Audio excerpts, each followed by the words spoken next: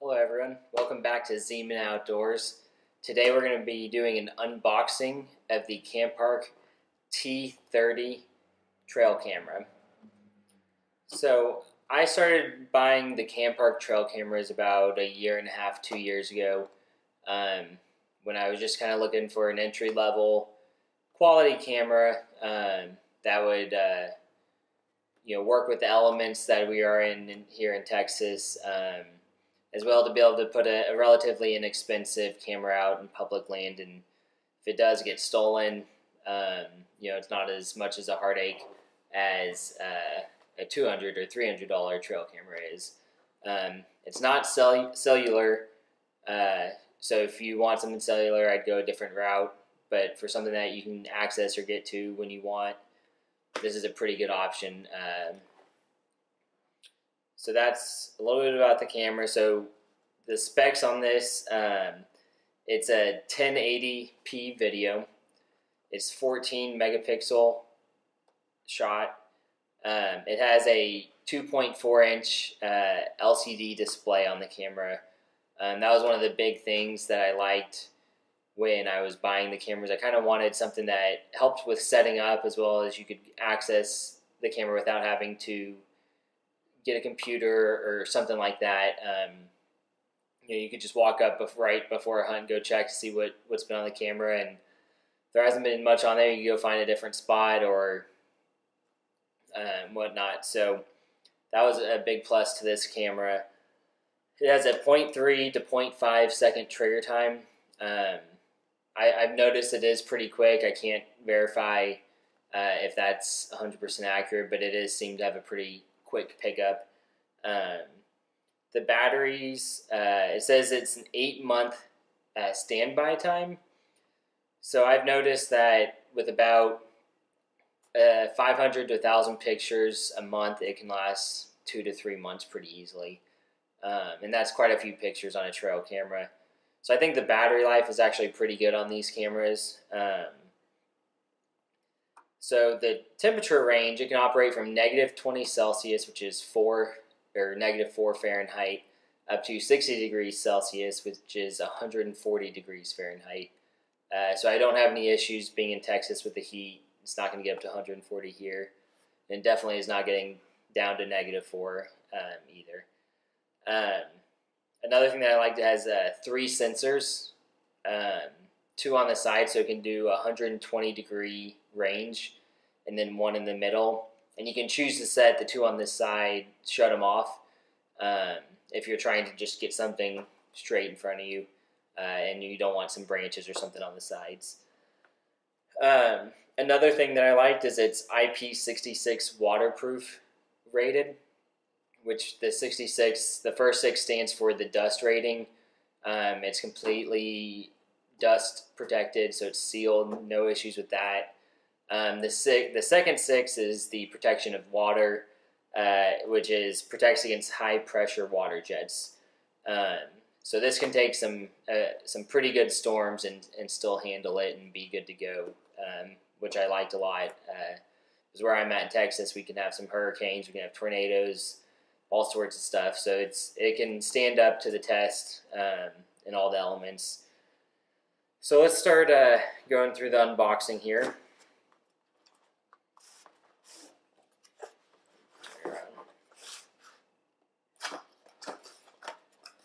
So you open it up, you know, it seems to be packed pretty pretty well.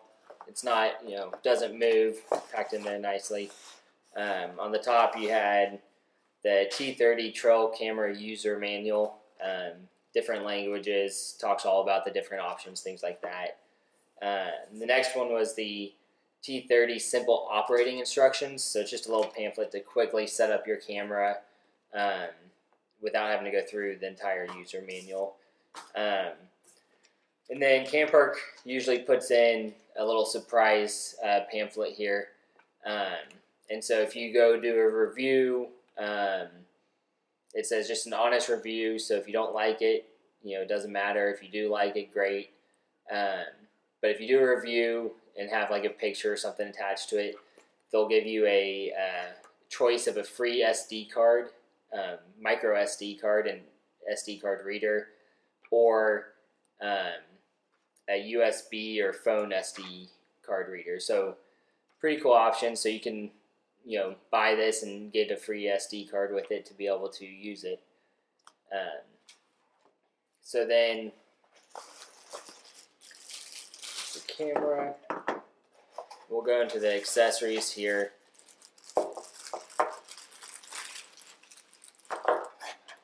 So first we'll talk about the strap. Um, it's about a one inch strap, you know, has just a plastic uh, buckle on the end. Uh, I haven't had any issues with this wearing down or breaking or coming loose. Um, it's not super heavy duty, but you know, I, where I've had it, there's cattle, and I've had cattle bump into it. Um, we've had storms. It's been out there for a year and a half, and it's still held strong. Um, haven't had issues with that. And then it comes with uh, a little mounting plate if you want to mount it somewhere else and not strap it to a tree. Um, and then the screws to be able to mount it, uh, and then the mount itself to be able to connect it to the camera. It also comes with a, a little cable for charging or pulling the pictures off without pulling the SD card out. So here's the camera. You've got your two side sensors here, and then your front sensor, your camera, your IR. Um, so if you open it up, you see the L, uh, LCD screen that I have here. Uh, pretty basic setup, simple buttons, um, a little note on kind of a how to of you know memory card formatting, uh, just kind of a little starter guide. And what's nice is it has a little uh, cord connected to the battery thing, so you can easily open and close the batteries. Um, it takes eight AA batteries. Uh, the micro SD card goes in here at the bottom, uh, and I can show you that a little bit closer when we go through the setup. So that's the camera, um, and now we'll go through the setup. All right, so I figured I'd just kind of show you a close-up view of what comes in the box. This is the pamphlet for the free SD card and SD card reader. Your simple operating instructions. Your user manual. And again, here's the strap. Your mount. Cable. The screws for the mount an attachment to the camera and the mount. So here's a close-up of the camera.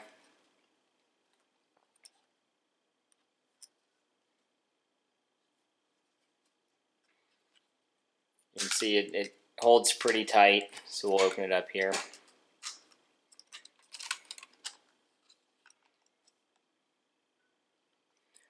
So the before you start instruction that I mentioned previously.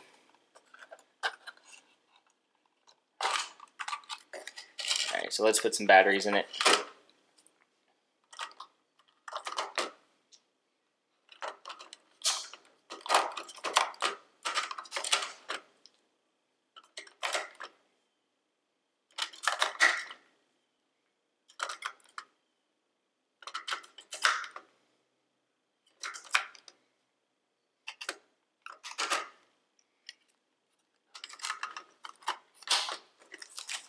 I have batteries in it.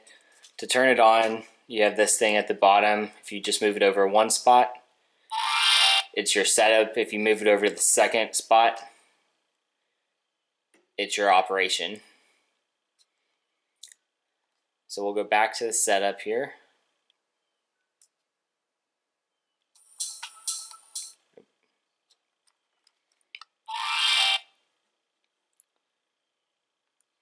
Alright, so it doesn't really let you do anything until you put an SD card in it.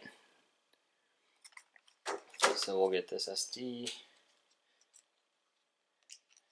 Again, like I mentioned, it's the micro SD card, so it's kind of a, a little bit of pain to deal with, but you can see there's the slot. It should click in. So now it's uh, Good says ready to go. So we'll go to the menu. Let me zoom in here a little bit.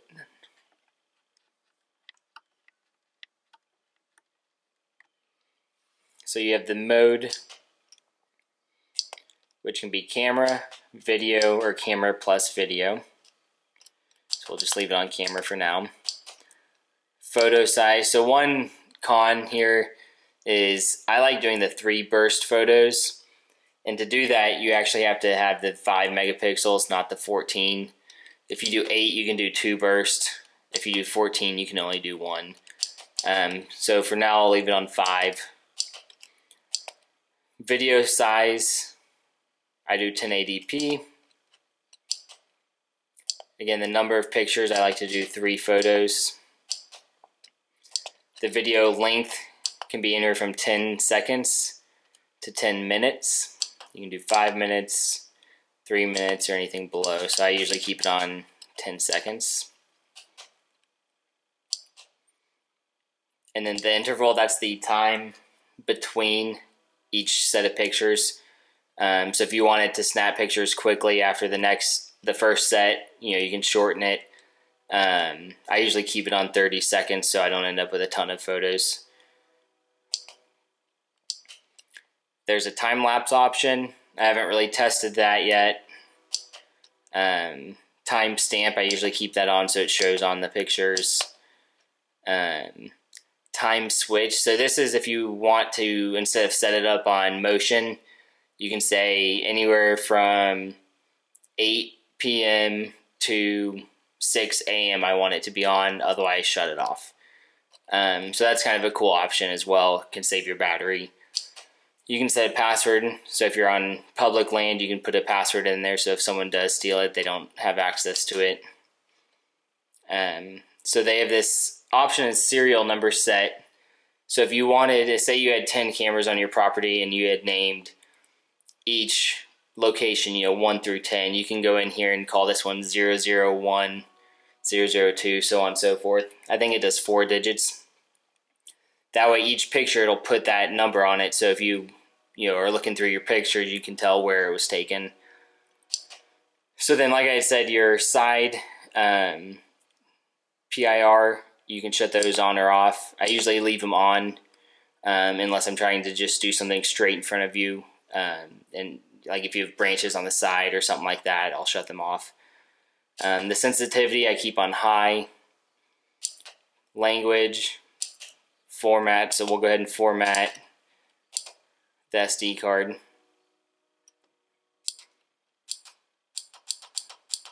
Go back to, so we just did that. You can go in here and set the clock, reset to default, auto power off if it's not being used. You can set a time on that. I usually set the sound off because when you're in the field and stuff, you don't want it to be making a bunch of sound. Do you want it to record volume or not? The level of the volume when you play back, and then just the firmware version and things like that. Um, so then you can practice taking pictures by taking just pressing shot. It'll take a picture and it shows you what it took a picture of. So that's usually how I set up the camera. Um, it has a replay button. So you can go back and look through all the pictures you've taken. And then, let's go back. You can click to delete them, one or all pictures. So I'm to delete all of them. It says we have nothing in there now. So then if you go to turn it on, you see this timer here? That gives you five seconds before it'll start clicking on motion. And so it's taking the picture now. And so that's, uh, that's how I set up the camera. Um, one of the things that I do actually, and I'll show you now, um, I actually like to put the camera on because I want the highest quality picture. I'll put it on the 14 megapixel, so let's do that real quick. So I'll go camera plus video I'll change the photo size to 14. I'll keep the video size at 1080. I'll do one picture and then a 10 second video. And so that's usually what I like to keep it on. The video does take up more space, so if you don't have time to go check your camera that often, maybe you just stick with pictures. Um, but I like to have a picture and a video. Um, and so we'll go outside and set this up and see how it turns out. All right, so we're outside here. Uh, I'm in my backyard, so I'm not able to be out at the property right now. Um, but so we'll, we'll do some testing. You know, I'll walk by it. I'll have my dog walk by it at, at day, night. We'll take some pictures and videos. Um, so I can show you all those pictures and, and videos and the quality um, of the, the camera. Um, so I'm going to go ahead and set it up and kind of show you the process I go through when I put up a trail camera and set it up. Um, and then if I get a chance later this week or next, if I go out to the property, I'll set it up out there and I can send some pictures of animals and do an update on this as well.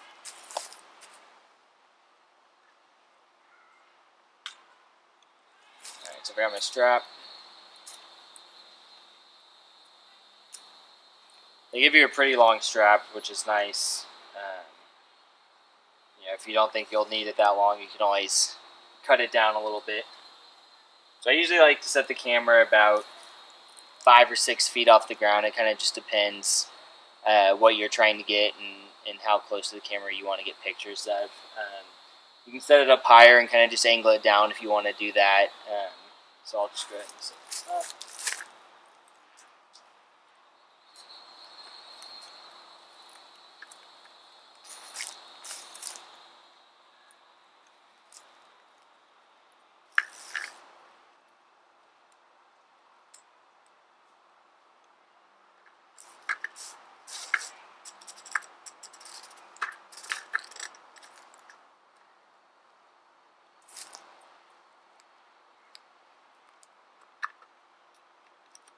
So you can see I've got it set up here.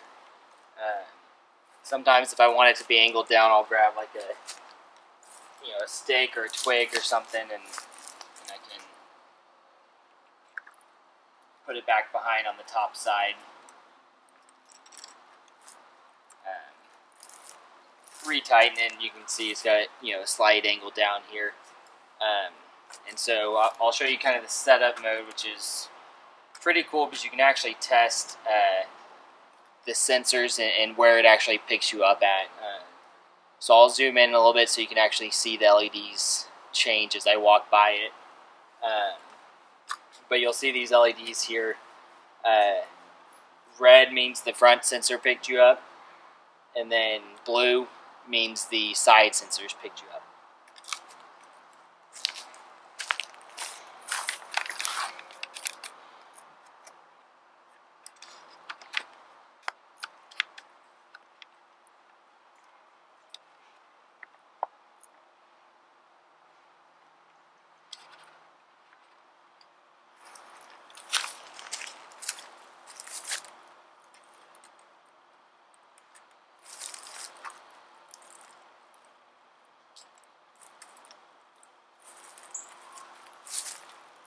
Alright, so I'm going to put it into the setup mode. And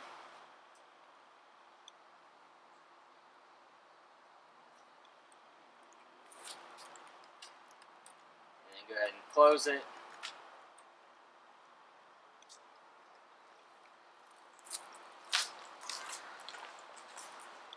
So as I walk by, you can see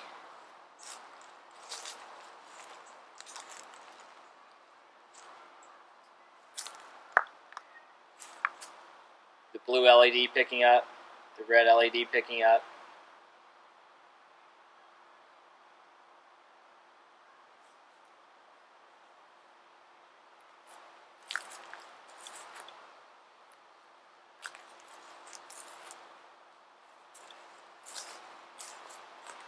So you can see as I walk by it, you'll have the blue LED pick up first. There it is. And then as I walk in front of it, you can see kind of going blue and red. That's this, the middle and the side sensor picking up. And I'll walk on this side of it, and you can see the blue picked up again. and it's picking me up over here. So you can get an idea of what your sensors are going to pick up um, by just kind of walking around it. Um, and then another thing I like to do, you can kind of, it's a little tougher to do, but you can kind of get an idea of where, you know, your picture is going to be uh, and at what angle it's pointing down by looking at the camera. Uh, and just make sure it's in a good spot. And you can, you know, turn it on. You got about five seconds, and you'll see this red light flashing. So that's giving you five seconds to close it before it'll take a picture. And so usually I like to just walk by it and let it take a, a picture and a video. Now we're back inside. I've taken a look at the pictures, um, and I'll show them up here on the screen as we talk about them. Uh, so as far as picture quality, the daytime pictures, as you can see, I think are actually pretty crisp and clear. Um, the daytime video is a little grainy, but I mean, I think for what you need it for, what you're trying to get out of it, um, it does the job. And then the nighttime pictures uh, are pretty good. It doesn't look like I got a very good close up. Um, the trigger speed and, and, reaction on it were pretty quick, so it was hard to get around and get a good picture of it. Um, and then the video is pretty similar. Uh, you know, you can see what you're looking at. I, I think it's it's pretty good for public land use. You know, it's not going to be your highest quality trail camera footage, but for a price of about fifty dollars, uh, I think it sure beats paying two or three hundred dollars.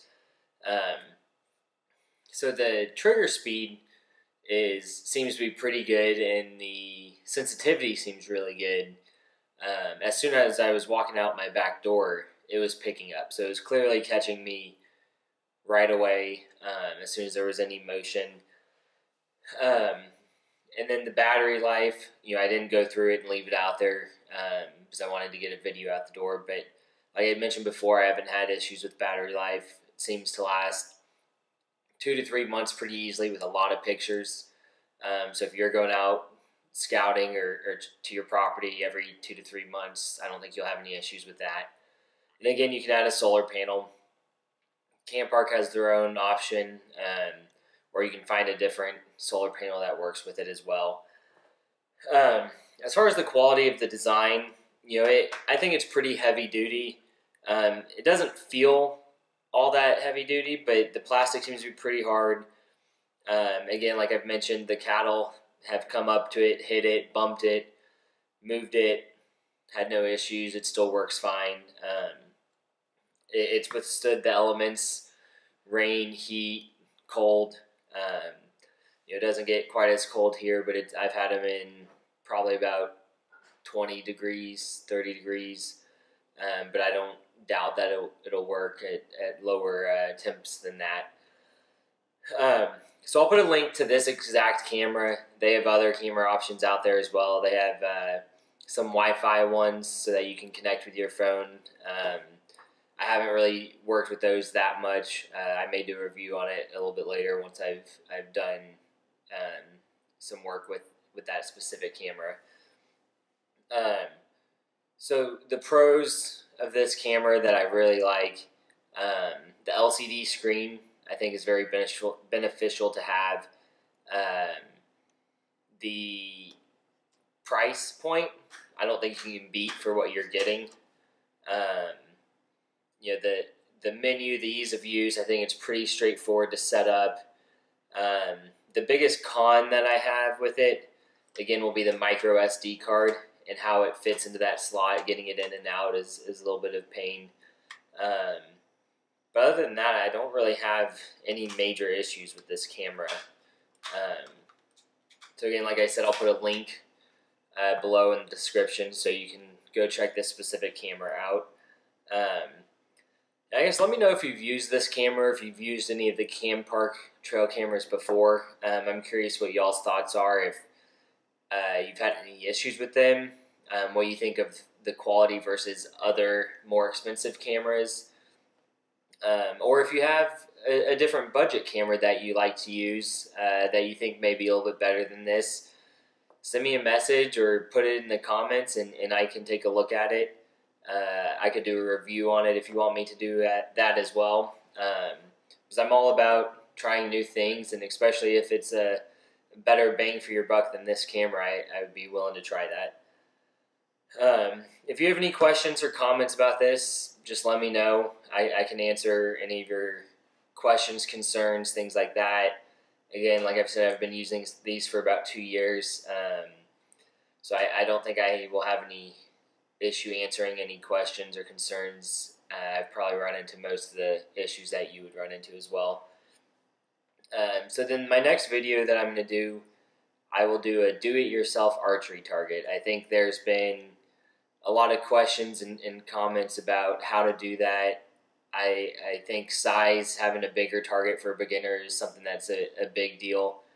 You know, all these targets you can buy are pretty small typically, you know, 24 inch or so bag targets, block targets.